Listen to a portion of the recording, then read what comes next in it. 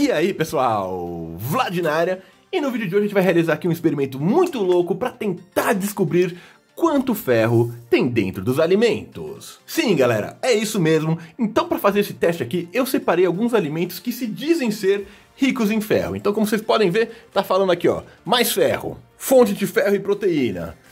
Quando eu pesquisei, me falaram que as castanhas de caju são um dos alimentos que tem mais ferros da natureza. Aqui tá falando também, ó, com cálcio e ferro. Inclusive aqui fala, ó, 5,9 miligramas de ferro para 30 gramas de porção. E o que a gente vai fazer, galera? Sendo sincero para vocês, a gente vai triturar esses alimentos aqui para tentar separar o ferro contido nesses alimentos aqui do restante. E para isso, a gente vai contar com o auxílio do meu super liquidificador blindado. Bom, vamos começar aqui, galera, e eu acho que eu vou começar com um alimento que sempre me falaram que figura entre os mais ricos de ferro de todos. Eu tô falando aqui, ó, do feijão, pessoal. Então o que a gente vai fazer é bem simples. Eu vou triturar um pouquinho de feijão ali no liquidificador e a gente, com o poder do magnetismo, vai tentar destacar o ferro contido no feijão do restante que ficar triturado. Vamos começar aqui, galera? Então bora! E enquanto eu vou preparando tudo aqui, você é de casa que por acaso estiver assistindo esse vídeo e ainda não for inscrito no canal, se inscreve aí, cara. Clica no botãozinho ali que você não vai se arrepender. Pode clicar porque aqui no Área Secreta tem vídeo novo todo dia e todo dia tem que trazer alguma coisa diferente, alguma coisa nova, alguma coisa única para vocês. Então pode escrever e é lógico, aproveita também para já deixar aquele like. Então capricha no like lindão, lindonas e todo mundo mais. E ó, sempre que eu falo todo mundo mais, eu tô me referindo àquela galera que assim como eu, não se enquadra na parcela da população bonita. Então bora começar aqui o vídeo, vamos triturar feijão para ver quanto ferro tem dentro.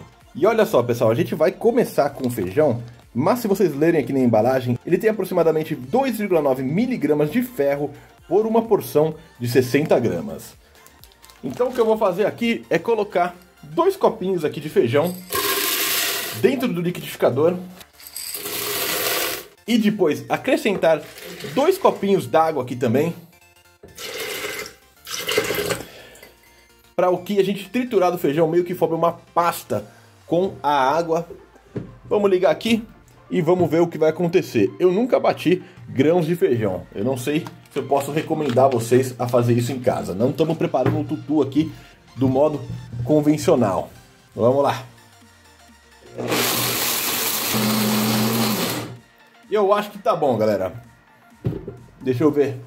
Vamos triturar mais um pouquinho, vai.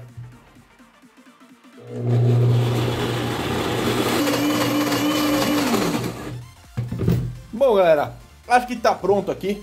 O próximo passo é a gente pegar o nosso feijãozinho triturado. Bom, galera, infelizmente eu tive que refazer aqui, porque aquele primeiro estava muito, muito denso e não consegui nem tirar de dentro do liquidificador. Então aqui a gente fez aqui numa proporção de água um pouquinho maior e eu vou colocar aqui ó, nessa sacolinha para a gente continuar com o nosso experimento. Ok, Aqui agora eu vedei bem a sacolinha e a gente vai utilizar, como eu disse, o poder do magnetismo para tentar desvendar, para tentar descobrir quanto ferro tem aqui dentro do feijão, se a gente consegue de fato destacar ele. Então, com o imã aqui, eu vou passando e cuidadosamente vou levando aqui para parte de baixo. Você vai demorar um pouquinho, mas vamos lá. Mas olha só, galera. Reparem aqui no sacolinha quando eu passo com o imã. Olha ali, vocês estão vendo? Olha aqui, isso aqui. Estão vendo isso aqui? Isso daqui, galera, é o ferro contido no feijão. Claro que com a quantidade de feijão que eu triturei aqui, não foi tão grande dessa segunda vez, a quantidade de ferro é bem pequena, mas só de já ter conseguido mostrar aqui para vocês, para mim já foi muita coisa, na verdade. E olha só, galera, vou levantar o imã aqui e vocês vão ver que louco. Olha aqui, não sei se vocês conseguem ver. Dá pra ver aqui, né? Ó. Seguindo o imã. Olha que louco, cara. A gente consegue realmente ver uma pequena quantidade de ferro aqui dentro do feijão. Olha que interessante, cara. Tá certo que esse imã aqui é muito forte. E ele ajuda a gente com certeza a realizar esse experimento. Mas é visual. Olha aqui, cara. O ferro correndo ali. Não sei se vocês viram. Ó aqui. Ó, que louco, mano. Bom, então beleza. Já constatamos que de fato tem um pouquinho de ferro sim dentro do feijão. Vamos passar para o nosso próximo alimento, porque se no feijão dizia que tinha aproximadamente 2 gramas e meio para cada 60 gramas de feijão, esse leite em pó aqui tem 4,2 mg para cada 26 gramas de leite em pó. Bom, vamos lá? O próximo passo é misturar o leite com água, da mesma forma que a gente fez com o feijão, para tentar separar. Bom, pessoal, então já bati aqui nosso leite com água, bati aproximadamente 100 gramas, o que significa que, seguindo a embalagem, nós devemos ter uma quantidade próxima a 16 miligramas de ferro aqui dentro. E eu vou começar dessa vez utilizando um ímã um pouquinho menor, porque eu tô com medo de que com o nosso ímã muito forte a gente possa estar tá puxando as partículas de ferro aqui com microfurinhos, alguma coisa do tipo assim. Dessa vez é para ter muito mais ferro do que no feijão, hein? Vamos ver. Opa, eu vi alguma coisa. Opa, olha só. Não que isso aqui seja um pedaço grande assim não, galera. Não sei se vocês conseguiram ver também. Tinha um negócio preto ali. Eu acho que era um aglomerado de ferro, hein? Será que se eu fizer assim, eu consigo puxar pro cantinho? Vamos ver. Opa, vocês viram aqui, galera? Olha só. Olha, tá cheio de ferro aqui no cantinho. Olha aqui. Olha quanto ferro tem. Olha, que louco. Vamos levantar o saquinho e tentar arranjar um ângulo onde a gente consiga ver melhor. Eu já vi que eles estão aqui no cantinho. Olha! Olha quanto ferro tem aqui, galera! Olha! Que louco! Tem muito ferro no leite. Olha! Isso aqui são partículas que se aglomeraram, cara. Eu não sei se elas ficaram magnetizadas, mas olha a quantidade de ferro que a gente tem aqui, cara. É realmente muito visual em comparação com o feijão. Olha que legal, meu. Então, realmente, esse leite aqui é sim rico em ferro. Deixa eu pegar o imã mais forte, que eu quero ver se a gente vai rasgar esse saquinho aqui. Vamos ver. Olha só como de longe já começa a atrair. Rasgou? Não.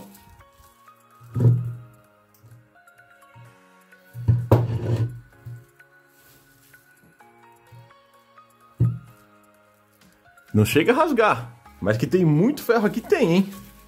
Bom, mas de todos os alimentos, o que se diz ter mais ferro de todos, galera, acreditem ou não, é o sucrilhos. Cereal matinal aqui.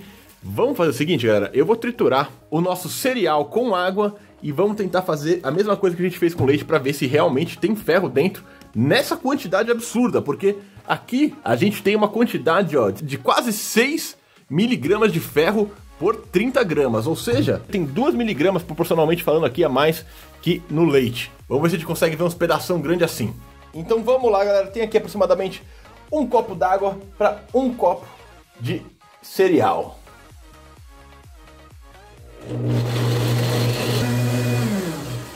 Eu acho que já tá bom. Vamos passar agora para dentro de uma sacolinha para aí sim a gente tentar pescar o ferro de dentro do cereal. Bom, Vamos lá? Vamos ver se a gente consegue encontrar uma boa quantidade de ferro aqui dentro. Como eu espero, né? Já que a gente conseguiu encontrar... Opa! Olha! Olha! Vocês estão vendo aqui? Olha! Tá vendo esses pontos pretos? Olha quanto ferro tá traindo, cara! Olha isso, meu! É roubado! Olha quanto ferro tem aqui, cara! E tem umas uns pedacinhos maiores e uns pedacinhos menor. Vamos ver se a gente consegue atrair pra cá. Esse cima é muito forte, cara. Tá bem longe. Olha, só ficar aqui em cima. Que ele já começa a atrair o ferro. Nenhuma das vezes foi tão forte assim, cara. Foi tão visual assim. Tem muito ferro realmente no sucrilhos.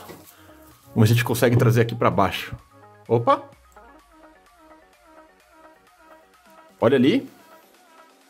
Olha quanto ferro tem aqui embaixo.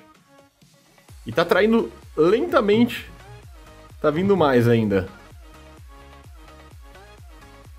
Olha, mesmo de longe, continua traindo ferro aqui do cereal. Olha, ali em cima tinha mais. E vem vindo. Aí do nada aparece. Olha quanto ferro a gente tem aqui, cara. Aqui tá do outro lado. Mas olha isso. Realmente, nenhum dos outros alimentos que a gente testou aqui tinha tanto ferro quanto a gente consegue ver no cereal aqui, no sucrilhos. Sucrilhos não, que é até de uma concorrente que, aliás, ninguém aqui tá me patrocinando por essa divulgação aqui de alimentos rico em ferro. Olha isso, galera, como vem mexendo. E aqui embaixo ficou um monte.